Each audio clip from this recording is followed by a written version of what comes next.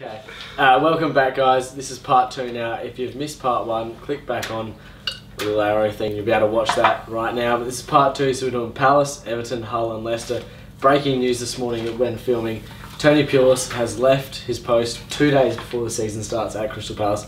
Straight away, guys, what do you make of that? Bad, bad loss. Horrific. Here's, Yeah. here's, here's the reason. horrific. Here's the reason why they stayed up. Yeah. And Puncheon. Yeah. And Puncheon. And Jack Jackson Butcher. Couldn't can't look back. Except that one penalty he took, which Yeah, it was the worst think I penalty. saw the ball bouncing somewhere near here. Yeah. a few days back. Ah, Lorenz. Oh, it's great news for Arsenal's opening day of the season. Yeah. That's Crystal Palace. Ah. Is it at home as well? Uh, yeah, Oh. at the Emirates. Yeah. Um, Why did he leave? Uh, from what I've heard, in it's literally only happened three or four hours ago. It was broken promises between him and Steve Parish, the chairman, that he that only signed. Martin Kelly was signing today.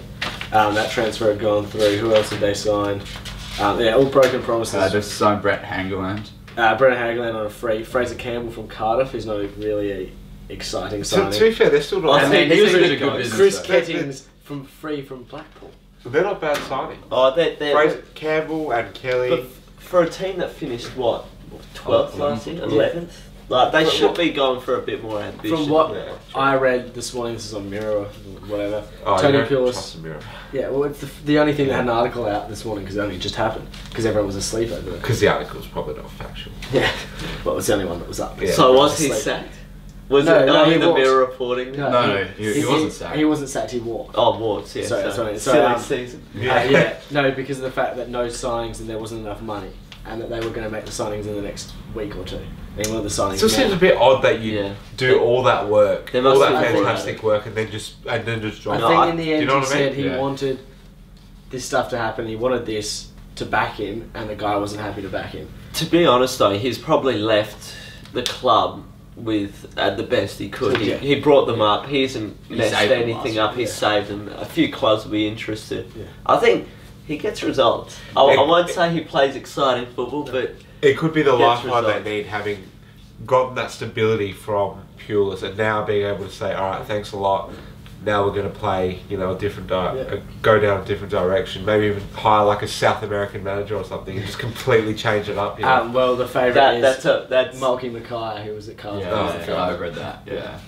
Marky Um, or David Moyes is a Ah, the, the United legend. He's yeah, back. He's at back. Palace. So um, in the Apparently, end- he's gotten offers from everyone. Yeah. So uh, we, we'll see. We'll see uh, who takes over Bayern Munich next. yeah. um, But now- uh, I think I think that'll be interesting. I'd love to see Moyes back there, but if he beats United with Crystal Palace, You'll probably neck I yourself. Yeah. might I might kill myself. Yeah. Um, no, though, guys, Palace, where do we see them finishing now with this turmoil? I had them up in my top, Yeah, I had to them, I 12 had them region, twelve, and so- now I've got them relegated because I think the only reason they were up, obviously, was because of Tony Pulis. Yeah, I think I think Tony Pulis, uh, he loves his philosophies. Yeah. Um, not not in the same way Arsene Wenger or Mm. Rodgers like theirs. Uh, he loves just defence, and I think there's not going to be that. Uh, there's not going to be some pedantic uh, who's going to be looking after that thing. Because when Crystal Palace were losing games, they were conceding goal after goal after Mm. goal, and then Pulis came, and they became rocks. So Yeah. yeah. Look, it's it's very hard to see them doing well. I mean, from the point of view that they've lost, you know, just that key Yeah. which was Tony Pulis. Uh, you know, I feel like it's just really going to throw a spanner in the works there now, and you know, you might get some of the bigger personalities in, considering, you know, changing clubs. You know, maybe in January if, if the start isn't bright. So, I've you know I've got them relegated. Um, could you guys see Mile Jedinak like handing in a transfer request and heading somewhere else now? If they're in turmoil, because he's good As a enough team for the Premier- captain, no. Not don't so. just yet. He I wouldn't think be, he January's wouldn't be the probably first will- captain to leave the club, though. You know. Yeah. you think guys, Lauren. Yeah. He's probably gonna. No, no comment. um, no, but I reckon yeah, give him maybe up to January, and if they're not doing well, he deserves to stay in the Premier League because he's good enough. He, and look, whether they are relegated or not, he'll be there next season. Yeah. Someone will pick him up, or he'll be elsewhere. But uh, yeah, um, it's hard to see them staying up, and in particular having a good season. So we all done on Crystal Palace then, lads? I look forward to seeing their exciting brand of football. Oh, that uh, 3-3 last season was pretty exciting. I don't know if you guys remember that. yeah, yeah, yeah. We're over three. Oh. Big game. Jason, Moving right on. Uh, moving right on, straight on to Everton now, guys. They've made a couple of, let's say, a bit of shrewd business in the transfer window, bringing Gareth they- Barry back. Yeah, they've spent over 20 million. Yeah, They've spent over 20 And they bought Lukaku for 28 million straight away. Yes or no, Ellis? You have to say yes or no. Don't say anything We else. want an answer Either yes that. or no. Is Lukaku worth the 28 million that Everton spent? Is he worth 28 million to Everton? Yes. Yeah. Oh, I, yes, yes. I think it's worth 28 million. Yes, for Everton. For Everton, yeah. I think yes for anyone else but Everton, just because I think they're better off spending that money elsewhere. Um, Good on you. Although he's got he's got a lot to prove Oh, because got- his yeah. World Cup was quite poor. yeah. I mean that was Ori Origi, uh, that who guy that Liverpool signed, yeah. signed was starting above. Oh, is he a Liverpool player now? Yeah, but he's, Oh, so he's another He's striker. on a No, we loan, loaned back but he's on a loan back deal. Oh, right. Can you call him back, or is Nah, it one I of those? he's, he's straight. I for hate the- those, hate those. Yeah, in football manager, you always get the call back. Yeah, it happened with Zaha. Yeah. Oh, he hasn't really been that good. So. he was the worst. That's the worst bit of Hopefully business in someone ages. picks him up. Um, no, Yeah, I I just just think didn't have him as my best young player last year. Yeah. um, I think though Lukaku is a very good footballer and I rate him quite highly. But I think 28 million for a team that's struggled to ever buy players for. Yeah. I Oh, guess they're showing intent that they, They, want well, they bought hey, in the past. They bought McCarthy was fifteen million. Uh, Fellaini was fifteen million. Yeah. Um, they buy they they spend in that region, but twenty eight million. Mm. I think it had to be done. Yeah. Kenwright would have been very unpopular Yeah. had he not signed Lukaku. When Lukaku obviously wanted to stay at Everton. But he, he wanted Champions League football. He'll probably never get it at Everton. But um, Who does he think he is? Yeah. He's like some unknown like West End like playwright. Yeah. He thinks he can just buy. he's the he's the poorest owner in the Premier League. Yeah. Yeah. You, look, you got to credit him. Um, his passion, he's passionate Yeah. about the club, and that's not. I mean, that, that, you don't see that a lot these days. You got Liverpool's owner who was Yeah. always there, you know, or Yeah. sometimes. Yeah. Man United's owners who have never been at a game. Yeah. don't think they've never. Yeah. They don't. They probably don't even know what sport we play. Yeah. But it's good to see an owner taking an interest in the club. Um, now, guys, Uh, how? oh, we just. I just wanted to say about Yeah. Everton. I was there recently. uh, in the Merseyside region, and I have to say there's a, a definite glow Yeah. coming out of that club that I've never experienced in my life. Um, you know, I saw more Everton shirts and Liverpool shirts in the city of Liverpool. So, you know, what the hell does that say about you know a small little Yeah. Everton who are who have always been an outsider, but now they've just there's this air of flow which seems to suggest that you know they're a top four competitor. That's a bit like Man United, Man City though. There'd Yeah. be more Man City shirts at Manchester than Man United. Yeah. Well, yeah, but you know, You know. Good Yeah. comeback, guys. Um, how, how high? a do you reckon- neutral outsider who's a tourist. How are you a neutral outsider? You support Liverpool. Yeah, but I'm not. I'm not, a, I'm not from Liverpool, so I we would wearing a obviously. Crystal Palace top. I would Ella's obviously- undercover. Yeah. I would obviously expect to go there and see more Liverpool shirts. Anyway, Um, how high do you reckon they can? Like, how high can they aim for? Can they aim for Champions League this season? well they they should have Don't- they should have got it last year, in my opinion. I They- think they should have got it. I think Lukaku will uh, be better under this season. a Bit older, a bit wiser. Um, but I think they don't have a squad for Especially it. Come, come mid-season. Injuries. If Yeah. they get injuries, then- Will we see? Will we see Yeah.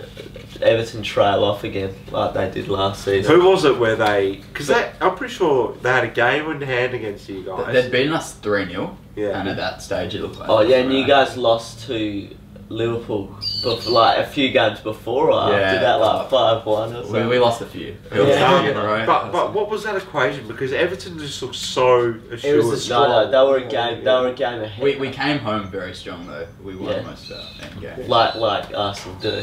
I remember that. Was it the season before when RVP just? Uh, Yeah. Or no, so, there was one season where Arsenal were looking bad, and then RVP Yeah. switched it on for the end of the season. Classic Arsenal. um, I think they'll be. I think they'll get a. It's harder now because Tottenham will pro- will be better. Yeah. Man United will be hopefully will be better. Um, so they've got two teams who are not very good. Yeah. Getting- Last year, yeah. Not very good last year. So there's going to be a lot more competition. It'll be hard for them. Does Yeah. does Martinez have the nerve and do they have the depth? That's a question Yeah. that will be answered this season. Well, they've got in Atsu from Chelsea on loan. He looks like a good signing, and that Besic guy. Oh yeah. Yeah, so they've got a couple of Did you, guys. just, in. did you guys see that? Yeah, that piece of first skill? touch, Yeah, yeah. His first touch, uh, Yeah. the uh, they're making an extrapolation Yeah. that his first touch means player of the season. Yeah. But we'll, we'll see. Yeah, what's that? What's extrapolation? Bit early in the morning. yeah. Um, okay, guys, that's that's Everton talk now done. It's got plenty. um, now we're on to Hull now, lads. Sounds Oh. like someone's in the door. Um, can Steve Bruce, Bruce prove he's a top manager this season after last year, guiding Hull to a top 10 finish? I think uh, I've always liked him. He's Yeah. a Man United uh, ex player, so uh, boring in interviews. But I think his style is a bit like Pulis, but Yeah. he's. I think he'll be alright. Yeah. He just needs more players. Yeah. Yeah, they've signed lots of English players. Yeah, they've gone to a different Pretty way. than old everyone. English. Yeah. And we all know that's not really what you what you do these days. Do they still have? Yeah. They still have Jelavic, yeah. Yes. Well, yeah, they So- picked up Jake Livermore for eight million from Spurs, Robert Snodgrass for seven million from Norwich. Snodgrass. Yeah. Snodgrass. Or it's harder to sleep No, for no, not. Snodgrass. Uh, Tom Ince from Blackpool for a tribunal because he came on a free, but they have to still pay him. Pay, pay Blackpool, sorry. Harry Maguire, who's a good young centre back from Sheffield United, and Andrew Robertson, who I think no one's ever heard of before, but he's come from Dundee United for two point eight five million. That's a quite a good Yeah, that's- fee for, that's for not Scot bad. for Scotland. Yeah, Like given that Celtic players are Yeah. being signed for like a one million. I, each. on, the, thing on the really- players they've signed, that's alright. I think like well they had Livermore last season anyway. Inces, Inces. They were all a little expensive. I'd, I think a bit overpriced because they're English. But Yeah. Well, Tom Ince was now, guys. Tom Ince went to Inter and had a like they nearly agreed terms there. Would you rather play for Inter or Hull? Depends if you want to leave England. I think a lot of people have been saying that he probably was the best idea was to leave England to sort of get out of because no top team was after him. Maybe go out to Yeah. Inter or something, try and find a bit of Who knows? niche. But he, he may be picked up next se- season if he plays well. Yeah. Hull City. Liverpool just, just on for it. Steve Bruce, whether that guy does well or not, and he actually did do well last season. He looks pregnant. Like I don't, I don't know what it is about him, but it's No, it's just not. It, it's he's like Mr. Potato. Yeah, like Yeah. he used to. He used to be like well in shape, but now he just looks pregnant. Like Yeah. what, what on earth has gone on there? And he's got a weird nose. Yeah, it looks. yeah, it's like got- it's been broken so and it's just so reserved. Like get some life into you, Yeah. man. Like um, I think it, I love him before derby games. Yeah. Was, like, was oh, he the one involved in the clash with Pardew? I think it was him. I With the think- headbutt? Yeah. Pardew's Well, been it was- involved. Pardew's been involved in a few clashes Yeah. in his Um, time. yeah. Now, guys, they only finished with 37 points last year, though. Um, everyone says 38 is normally enough to finish. Last year was a pretty poor season from the lower teams. Do you think 37 is enough again to survive? You're still going to be uh, Uh, looking nervously over your Yeah. shoulder. Yeah. They- It was because of the FA Cup, because Yeah. they got all the way to the final. That's Yeah. why I think they just lost their run towards the Yeah. end. Yeah, and it's not a. Yeah. Except they have a problem this season, the Europa League. Yeah. Oh, Europa yeah. League, Yeah. Europa League kills. Yeah. Uh, that Oh, can that kill does. teams. Was it Swansea? Yeah. Who last Yeah. had it? Yeah. You it's don't a- need it. It's. I reckon there should be an option for clubs not to go into Europa. yeah, but not, no one would want it. Yeah. Yeah. True. They should just Yeah, get rid it's it more of a financial strain on the clubs because you got to go out to like Eastern Switzerland and Yeah, stuff. Yeah, it's you, just- you guys were really fortunate to miss out. on Yeah, I was. I fingers And man- crossed. yeah. Yeah. Was it who was it? Somebody got a somebody got a win or somebody beat someone else. I think um, that meant like we didn't finish in Yeah, Europa yeah. League. Um, I can't You're lucky. You're really Yeah. lucky. That's what. That's we what don't have got the us squad. Up. Yeah. We don't have the squad for Europa. Yeah. Um, I hope we just Well, get. if you back. guys don't, I'll definitely Yeah, don't. no, yeah. But hopefully then they just get out get out of it. But guys, where will they find their goals? Also now that Shane Long has left for Sunderland for twelve million. Like where they've got Jelavic, but obviously they're probably going to reinvest it in the squad. But where will they find their goals? No, two words. Yeah. Nikita Lake, Jelavic. he, he will score the goals. Well, they'll obviously have to uh, pursue certain Yeah. avenues. You know, Shane Long type players. Yeah. But you know, where are you going to find a lot of them these days? They're probably going to go out to Europe now or something. But Yeah. Well, they have the English million- players, so they can bring in a foreign Yeah. player. Yeah. There'll be some uh, some scouts They getting, need to, uh, getting some nice paychecks. Get at to home. their scouting network. Well, the fact that they got 12 million for him and only paid seven for him six months ago, so in the end, that's a good bit of business. Yeah. A few line signings probably couldn't, probably Yeah. wouldn't. Yeah, they them. should do it. Should I- do a bit of a. Do you think they they could they could always get a player who's not unbelievable, like someone that s- maybe a Zaha or Yeah. something like that, because Yeah. United will loan him out. Yeah. That, that he's not going to be oh, he's not going to be unbelievable, but I guess he'll What about Lingard? The goalkeeper. Yeah. No. Oh, buy him. Jesse, oh, and another point Lingard. is Jesse Oh. Lingard last year. Oh, well, if he Jesse plays a couple of games, yeah, he'll be a superstar. Well, you know, He didn't know he he he scored, scored that no, crack against the All uh, Stars. yeah, no, and he scored a crack this preseason Yeah. as well. Did he? So who's this? Jesse Lingard. Baby steps. And then just Yeah. United young. Yeah, I thought you meant Lindegaard. I'm Yeah. like, what, the goalkeeper? Well, I He's like, clearly on said the way- Lingard. No, I didn't. When you think about though, guys, Oh. it's just a point on loan signing.